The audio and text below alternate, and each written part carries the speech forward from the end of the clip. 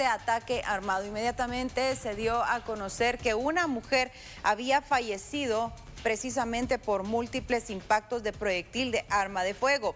A la llegada de las autoridades se constató que la mujer fallecida fue identificada como Geraldine Dalila Castillo Pinto de 24 años. Ella tenía siete meses de gestación.